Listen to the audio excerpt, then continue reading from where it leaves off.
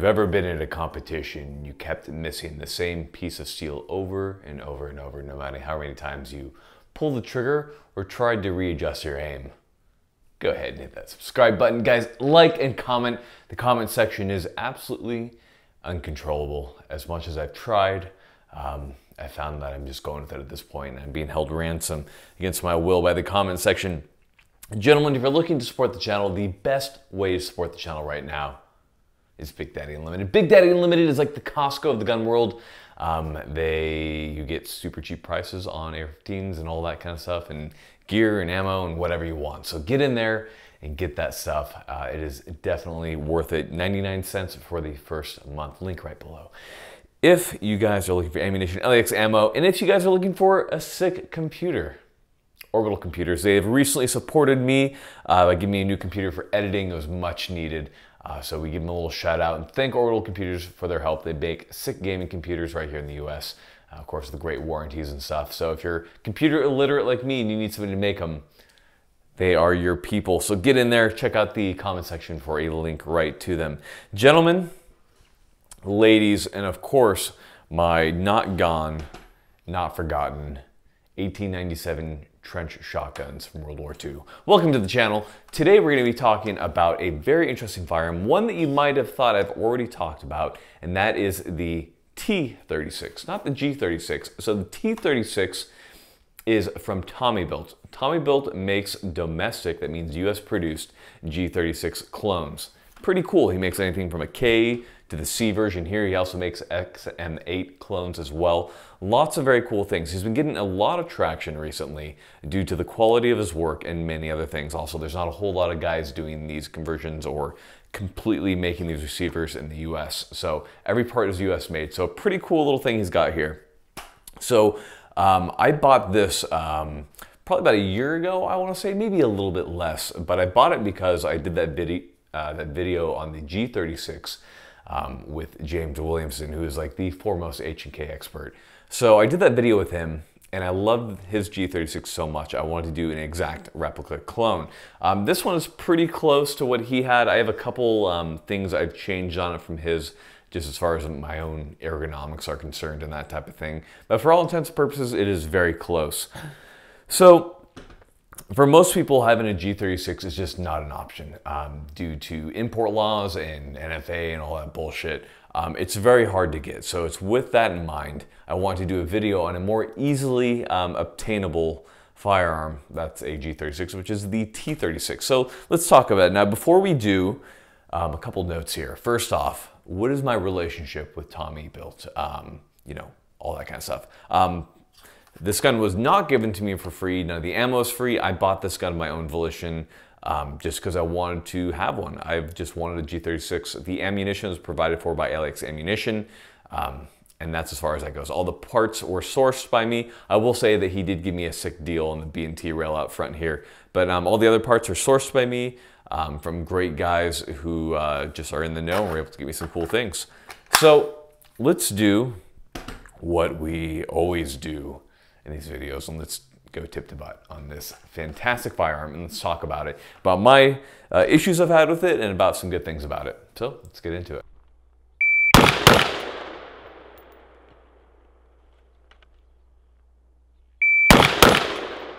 All right, so starting tip to butt like we always do with every firearm, we've got the muzzle device. Muzzle device is a four prong, pretty short, does an okay job at flash suppression. This is of course the standard muzzle device on the G36C.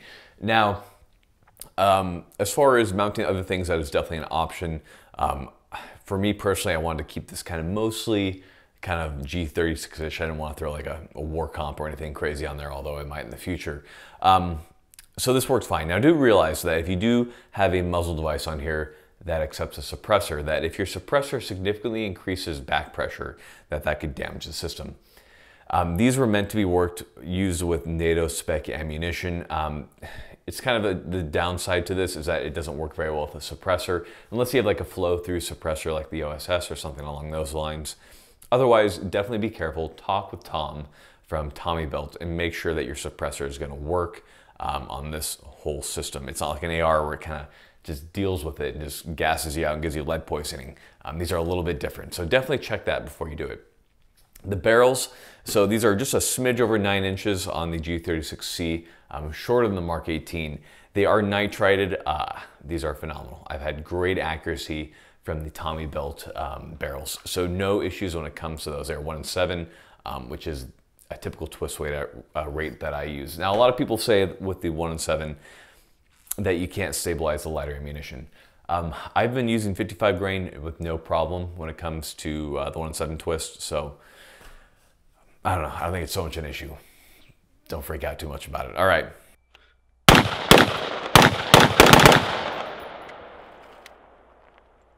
Now these barrels do get hot very fast, so understand that when you're firing this thing, you're probably gonna wanna have a glove on here, otherwise you're not gonna get the love. Or you might get the love from the barrel, but you're not gonna like it very much at all.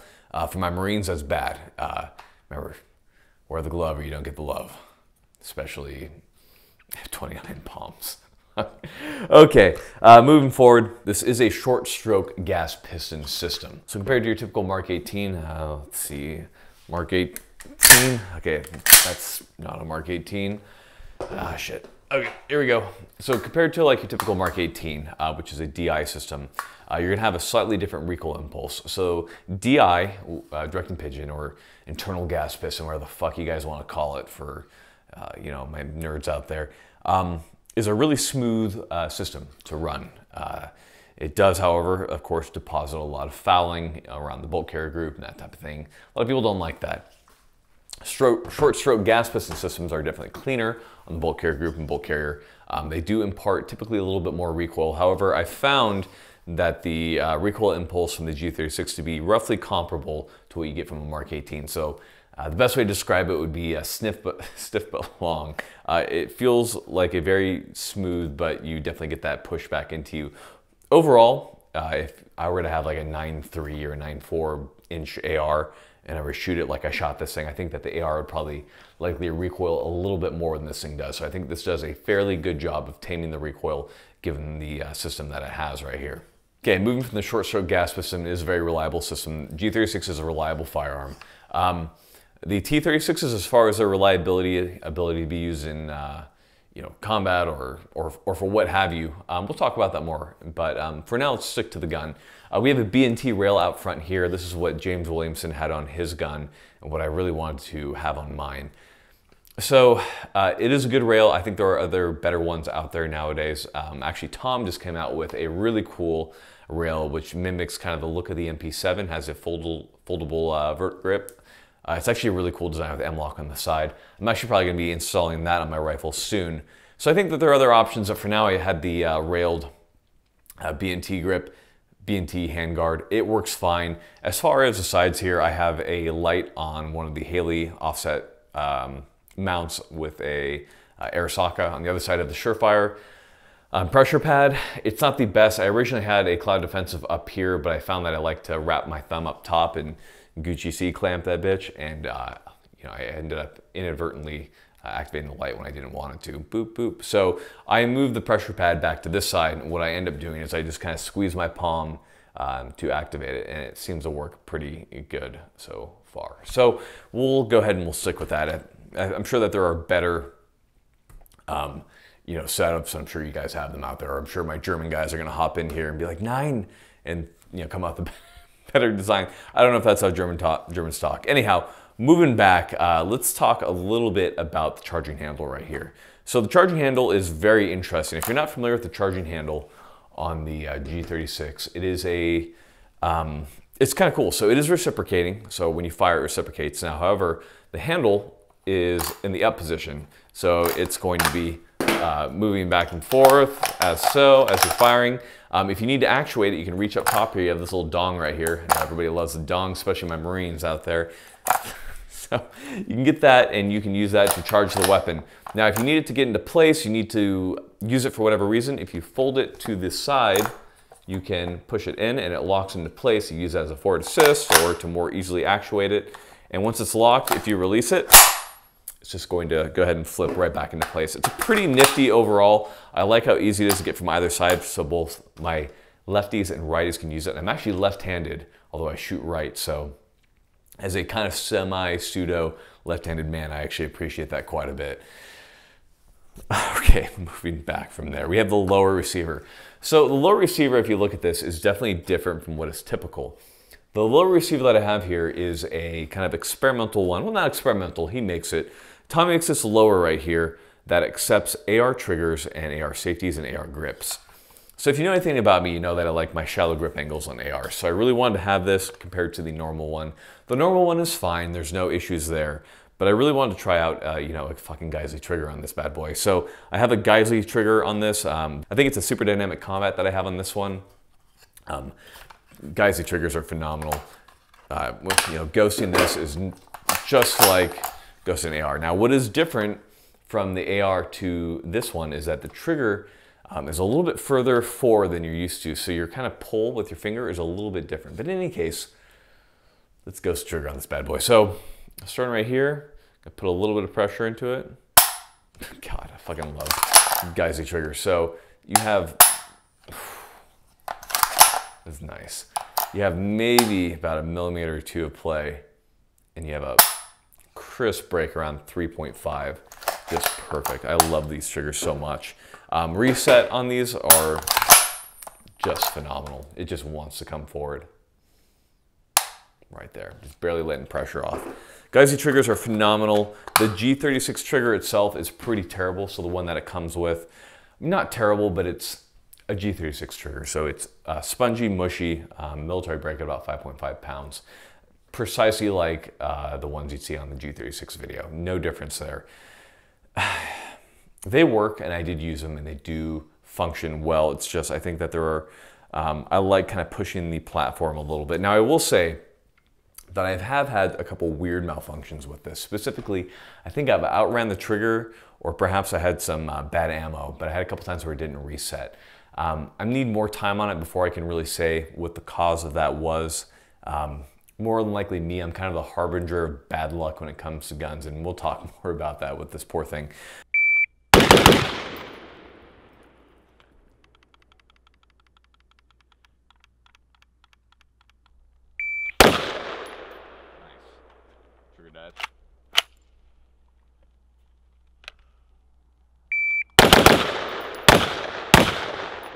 Um, this is SBR, by the way, in so you guys want to try to report me to the ATF. So uh, moving from there, let's talk a little bit about the magazine release. So on the G36, you have a paddle magazine release. That means to release it, you have to hit this little paddle right here. And the insertion of your magazines, these are not actual PMags. Well, it's a PMag, but made for a G36. They have a different locking mechanism. When you put it in, you kind of have to give that little rock back to kind of get it all the way into place. Um, the first couple times I was used to an AR, I just kind of sh shoved it straight in there and uh, it didn't work. So make sure you get that little bit of a lock back to make sure it locks into place. Otherwise you're gonna get this thing just dropping on you and that's embarrassing. we know that happened to me with Travis Haley and we don't like to talk about it. So make sure you're doing the right thing there. So the G36 has a rail right here, right? So what the hell is going on right here? So I have the Knights Armament backup sights slash rail system. So it has a little bit of Picatinny rail right here and uh, I have a front Knights Armament sight and a rear Knights Armament sight for backups, and they're actually very slick. They're phenomenal. Um, I did it because James Williamson had it on his. I like um, how it looks. I like how I'm able to reach the charging handle. A couple people have informed me that this leads to weakness in the system due to not having that structural support from the top rail. James Williamson didn't agree. Um, some people do, some people don't. I don't know um, if it does or if it doesn't. Um, I have had a couple issues with this gun and we'll go ahead and we'll maybe possibly attribute to that. I can't say what the issues were caused by, but we'll talk about that. we'll talk about that right now. So what I had with this gun, first off, I broke an extractor about the first 400 rounds in. That happens. Um, poor heat treating or, or what have you. I just happened to break a lot of extractors. I broke a FAL extractor. I break AR-15 extractors all the time. Um, I had one break on this. I don't consider it a knock on his stuff. I just, stuff happens sometimes, guys. Um, you know, always have spare parts. To his credit, um, Tom immediately sent over a bunch of spare extractors and those extractors have ran fine with no problem. So I would like to say it's probably just a fluke or something along those lines. But an issue that I did have that was very interesting was I was shooting this and apparently what happened was somehow the operating rod broke um, or something along those lines. we're not really clear exactly what happened. But when it broke, it shoved itself down into the channel right here and gouged it really hard and jammed up the gun. Um, pretty much a catastrophic failure. Nothing happened to me. The gun failed uh, as it should have, but uh, it was interesting. I sent it back to Tommy Built. Um, he wasn't sure exactly what happened. He said at times things have uh, perhaps gotten caught in the piston rings and caused it to cant. We're not exactly sure how it occurred. Um, you know, I just honestly, uh, these things happen. I fired another, um, so I put about another 800 rounds to this since I had it back, and I haven't had any issues. And now uh, it originally broke at about 600 after I got the got the extractor changed out on this particular platform. So it seems like I'm having issue after issue after issue, um, and I would like to say, oh, it's a crappy gun, but I don't think that's the case. I think um, I'm just having weird shit. I push these guns kind of hard and in this case, it just failed at very weird times. And the reason I don't think that it's that these guns are crappy is because there are a bunch of Tommy built uh, G36, T36s out there with 35,000, 40,000 rounds um, with you know your normal barrel cleanings, with your normal barrel changes and that type of stuff, but they're, they're running fine. So I don't believe that this gun is terrible. I just think I'm having some bad luck with a couple things there um, because the reputation seems to be that these run fine. And could it be due to the fact that I you know changed out this rail? Did that cause the structural problem? Or is it the B&T rail? Or is it the fact that I was using this lower? God knows. I've changed a bunch of this shit on this rifle so much so that I feel like I can't say with um, good authority on what caused the failure to happen. But I just wanted to say that it did happen, although I don't put that as a knock against these guns. I think that they are top notch and top quality. All right, rear sight here. Um, I did have an Aimpoint T2 uh, on there. I swapped it out for this little bad boy that's from um, Armament Tech. They make the Elcan Spectre. Just wanted to test this thing out. I feel very Call of Duty-ish with this uh, wide open window, but those are nice optics. But in any case, moving back from there, I have an IDZ stock on here. There are multiple different stocks out there. Um, again, this is what James Williamson had, and I found it to be very comfortable. Now, the length of pull is a little bit short for what I would typically want, but uh, it doesn't work. You can raise up the cheek piece on these uh, if you have like a high optic, um, and then of course adjust this as you need. If you are wondering about length, so here is a collapsed Mark 18, and here is a collapsed G36. They are roughly the same length, of course, of the Mark 18 having a longer barrel length as it has a 10.3 barrel, and this is a 9.3 uh, approximately. So they're roughly the same size. Sometimes with these short stroke gas piston guns, you have them very, very long, kind of like the AK. The AK is a very long gun. So ultimately, how does it feel to shoot? Um, not as smooth or as good as an AR-15. Um, definitely an interesting firearm to shoot and work with. Uh, I definitely prefer an AR-15. I'm definitely better than AR-15. That being said, I've really enjoyed my time with the um, G36 or T36 from Tommy Built. I'm hoping to do the XM8 that he has out there. It's definitely interesting. You'll find the recoil impulse to be a little bit stiffer, but these are truly accurate and reliable weapons. Now, as far as is this ready for you know prime time, like military use and that type of thing? No, no. Uh, I think this is more of a uh, firearm you have to if you want a G36 clone, since they're so hard to get. If you're military law enforcement and you really want to have a G36C, for whatever reason, get that actual thing. But this is definitely cool um, for those of us who can't easily buy those and want to have a G36 um, of some type or form. So definitely a cool looking firearm and definitely a cool thing. Now, there are a couple problems with the G36C. Um, the biggest being, of course, suppressor. Another thing is going to be rail space. Now, I understand I'm, I lost a lot of rail space here, but besides that, out front, um, there's not a whole lot of areas to grip. Um, so if you want to have like a PEQ and a light, uh, kind of like a modern setup, it's definitely to be more difficult to do. You're to have to kind of do a little more shimming and moving around and stuff to make it work. So it's not ideal for me um, in a lot of cases.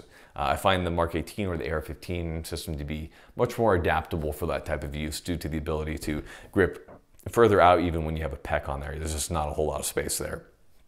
I understand a lot of this is mitigated with um, longer, uh, you know, G36s like the K and that type of thing. But for the C, understand the limitations that you're gonna be running into. Now, as with everything, guys, this looks really sick and cool. However, you're not gonna look cool or sick with this if you don't know how to shoot. So make sure that you get out there and get training, guys. Um, Bear Solutions, Esoteric, Core Vision, uh, Pat McNamara, Tony Cowden, all these great guys out there looking to give you training to ensure that you know what you're doing.